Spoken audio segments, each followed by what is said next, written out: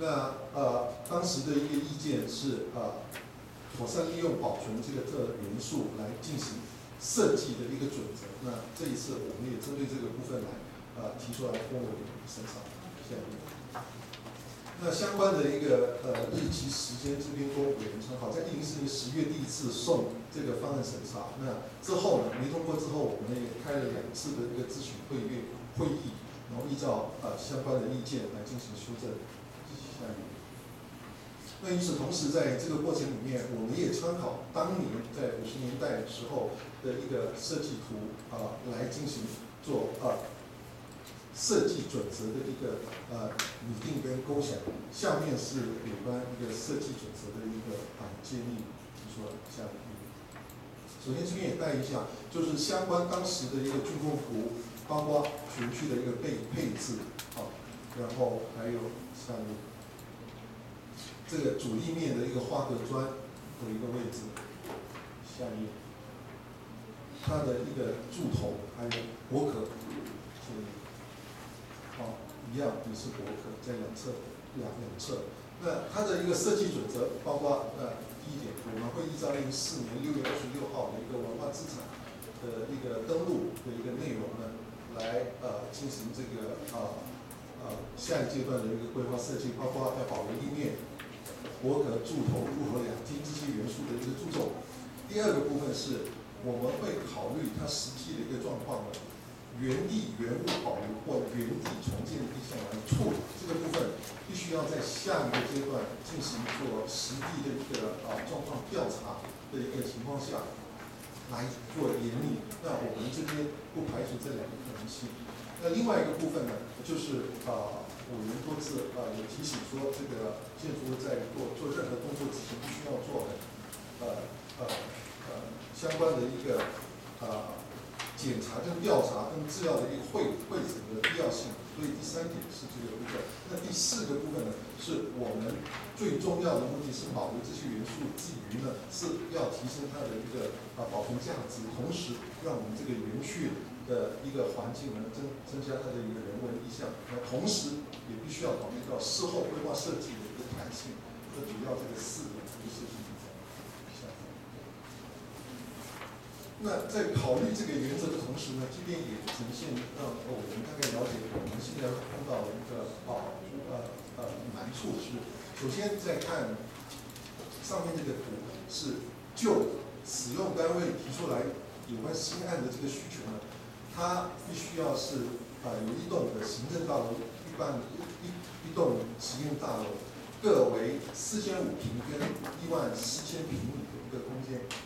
量，所以它的就回推它的停车量呢，它应该是呃地下必须要全面开挖才能够处理这个停车的一个数量。那实际上大家所看到的那基地是呃有限的啊。那如果我们让这个建筑物呃历史建筑呃，在施工过程保持在这个位置的话，那我们开挖就会受到限制。当然，这个也不是绝对，它可以花更多的经费来来看怎么样让这个保留的是全面开挖。所以我们提出来说，呃，这样的一个成本是我们在做这方面考虑的时候的一个呃重要的因素。那第二个部分是，呃，从下面这个图里面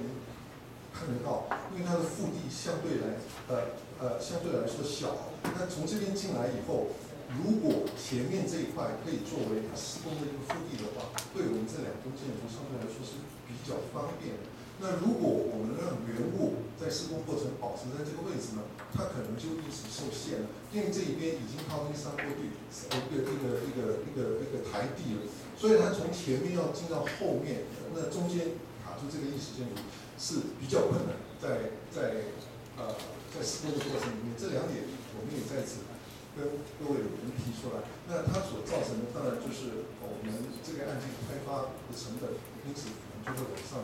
涨。这个啊，在这边跟我们报告。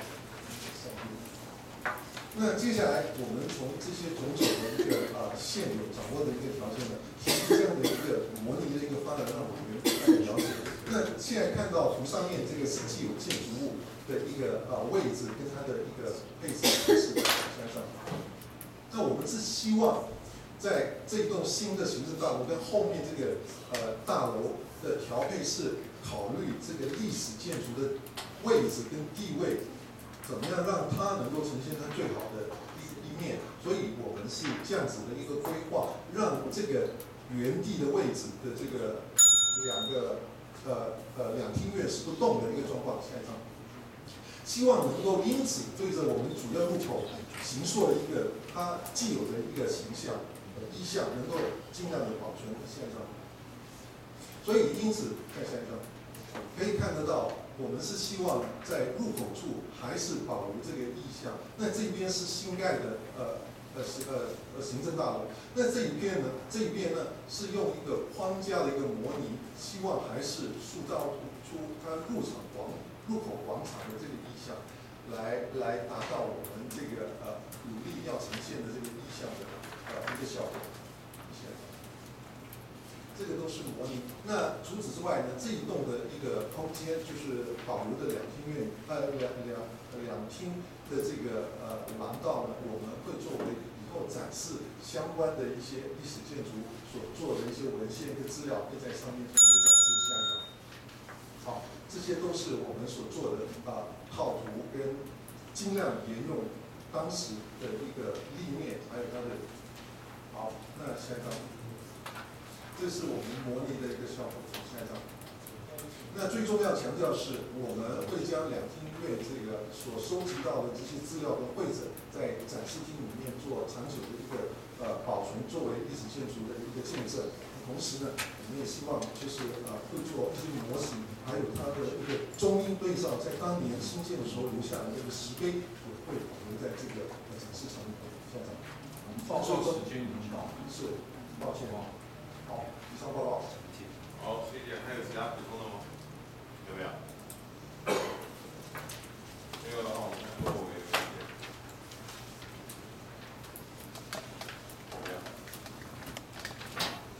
都没有的话，补充。下一个。审议案六。大安区农业试验所宿舍、产业改良场宿舍文化资产价值审议案提出审议。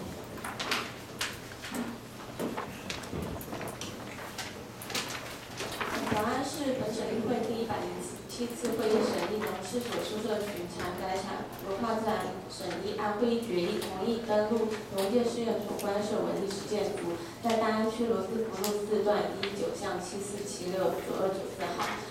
另有关罗斯福路四段一九巷六二六四七十七十二号以及六十二栋三号建物，后续请提报单位补充相关资料后再送本会审议。那好产图好产图工作是在一百零七年的八月二号提出补充资料。那本局在八月十四号邀请詹天全委员等五位委员办理专案小组会刊，会刊结论委员原则肯定大安区罗斯福路四段一九巷六二六四。七十号以及七十呃六十二弄三号具文化资产保存价值。那专案小组的委员意见及呃委员参阅书面资料。那原则上是肯定六二六四还有七十号以及六十二弄三号呃建为见证台湾农业发展之建物。那与周边的已经指定为古迹的总督府、农事所、昆虫部还有台大。昆虫馆它的办公厅舍以及周边的宿舍群，可以见证台湾近代农业的发展。那七十号部分是农呃国内菇类研究胡开人先生的寓所，是国内多种菇类研究创始的基地。那本案的文化资产价值评估报告，请委员参阅附件四。那六十二号还有六四七十号的位置在呃新泰段五小段的二八一二八一地号上。那地地地形图请委员参阅书面资料。那六十二弄三号在新开段五小段二八一至五 D 号，那地址地形图也请委员参阅书面资料。现场照片，呃，六十二、六十四号的照片，然后七十号照片，这个是呃胡开仁先生的住所。六十二弄三号现在是闲置的空间。本案的文化资产评估报告，呃，基本资料请委员详阅。土地的呃土地建物的所有权为国有，管理机关为台湾科技大学。那现现现况的概述在六二七十七六七四，这是作为宿舍使用。那六十四号、七十四号、九十二还有六十二弄三号，现在是闲置的状态。那价值分析部分，本次评估的建筑起源依建物登记资料所示，呃，为建建材都为一层的木造建筑。另外，依照民国七呃四十七年的航特图以及地形图所示，本案基地当时有建物，那图片请委员参阅书面的资料。那有关一百零六年九月一号办理第一次专案小组会刊委员的意见摘要如下：那原则肯定七十四、七十六还有九十二、九十四号呃具保留价值。那另外在第二次一百零七年八月十四号办理第二次专案小组会刊的时候，委员原则肯定六十四、六十呃六十二、六十四号呃七十号以及六十二弄三号具保存价值。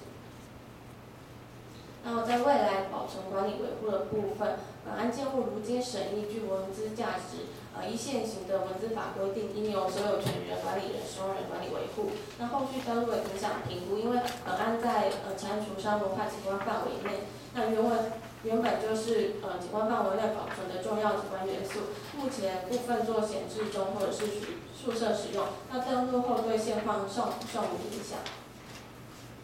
明白。一，你请同意大安区登录，嗯，你请同意大安区罗斯福路四段一九巷七十号以及六十二弄三号，与大安区罗斯福路四段一九巷七四七六九二九四号登录为历史建筑。一，名称农业试验所宿宿舍群，种类宅地，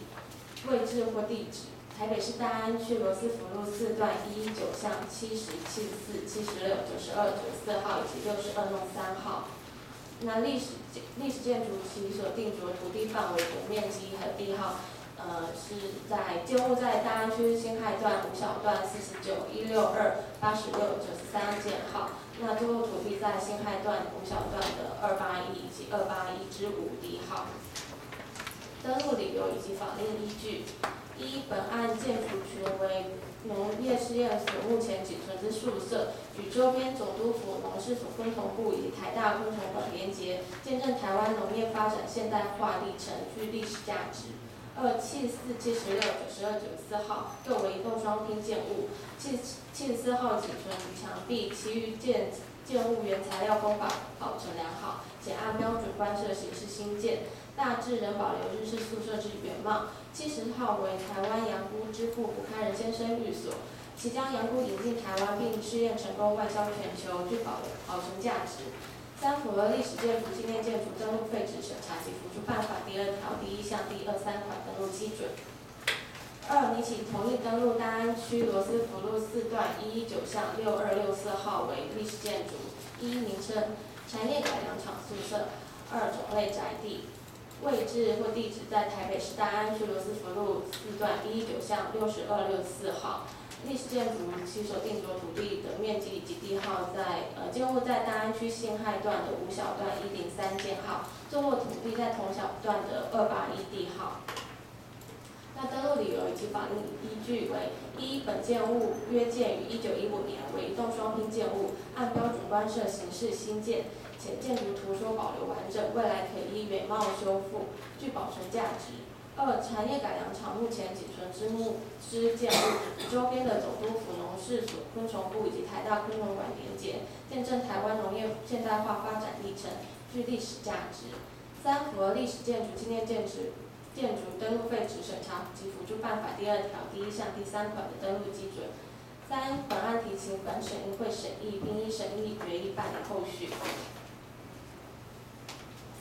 还有要补充吗？传输工作室要做一个报告。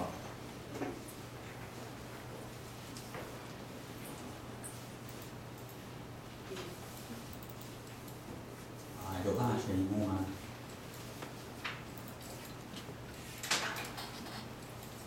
啊，主席、各位委员，大家好。啊，很高兴今天有机会在这边跟大家做一个说明。我们大家可以看一下左手边的这一张图，这是从蟾蜍山往北看，啊的一个啊一个眺望的一个啊一个景象，是在日本是在一九二八年的时候。那这时候我们可以看到公馆油厂旁边还有一个啊，就是那时候日本时代的火力发电厂。那整个整个蟾蜍山往北的的这一片，其实在当时都是啊农业试验所的总部在这边，然后其他的这一些水田啊都是农事所的一个试验农田，一直到台大的现在的台大农场这一整片啊全部都是当时农业试验所的一个啊一个重要的一个一个所在地。下一页。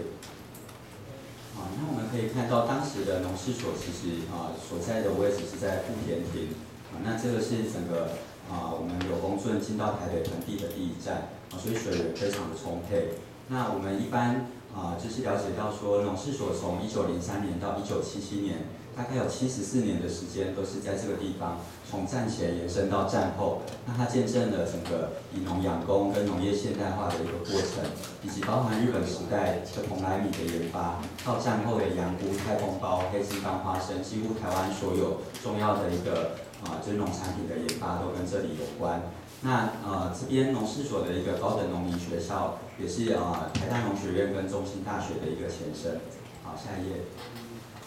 啊，那我们从这一张呃地图里面可以看到，这边是公馆圆环，这个地方是蟾蜍山。那我们可以看到啊，整个农业试验所的一个啊一个规划的配置是啊，在蟾蜍山的山脚下这这一整排是当时的一个宿舍群，然后接下来再往北的这一整片，包含这个总部其实是当时的整个啊办公厅舍。那再往北的这一片啊，这个实验农地一直到台大的基小屋啊，所以它其实是从住宿。啊，办公跟实验，还有整个农地的一个试验的这样子的搭配，整体构成的。那我们现在仅存的建物就是橘色的部分。我们现在看到橘色大概只剩下一层到两层，啊，所以整个农事所的一个纹理啊，所剩下的其实不多了。那我们这一次今天提报的是这四栋，啊，有标红色点点的这四个。好，下一页。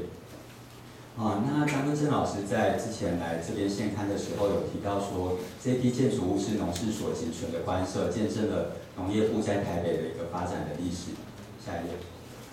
啊，那啊，现在在进行了蟾蜍山保存维护计划的曹建筑师，他则提到说，台北现有保存的日式宿舍大大部分都是日治时代晚期，在一九二零年代到四零年代的，那在初期的大正跟明治时期的较少。那我们这一次提报的建筑物虽然是比较基础的一个品种的官舍，可是它在新建的时候大概都是介于一九零三年到一九一五年之间，然后它同时也见证这个战前到战后农业发展啊极具保存的一个价值。下一页。啊，那我们先从啊，这是我们这一次提报的啊绿色的部分是产业改良场的宿舍，然后另外两栋啊是农业改良场的宿舍。那我们先从产改场的开始，下一页。